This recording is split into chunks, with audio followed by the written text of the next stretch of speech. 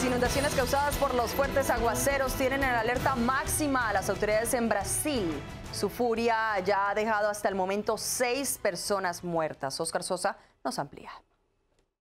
Casas inundadas y llenas de escombros, autos destruidos y miles de damnificados es el saldo que dejan los torrenciales aguaceros en la ciudad de Río de Janeiro.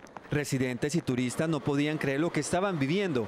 Incluso algunos lo compararon con el diluvio universal. se demande comment le fleuve a pu changer de direction. On se demande si ce sont les travaux de Globo ou euh, des problèmes euh, différents. C'est fou. La- un torrent est venu dans la maison. Cinq minutes. Otros, preocupados por la tragedia, solo esperan que esta pesadilla climatológica termine pronto. Amigo, eu tenho 25 anos, eu nunca vi uma chuva dessa, cara. Chovia muito, parecia um rio descendo dessa rua aqui, lá Quintas como uma ladeira também. Muita chuva, muita chuva, choveu durante umas 5, 6 horas, assim, bastante.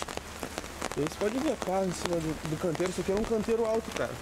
Subir aqui com a força da, da chuva. Ante esta situación, las autoridades locales se declararon en alerta y pidieron a los residentes no permanecer en sus casas si el nivel del agua continúa subiendo.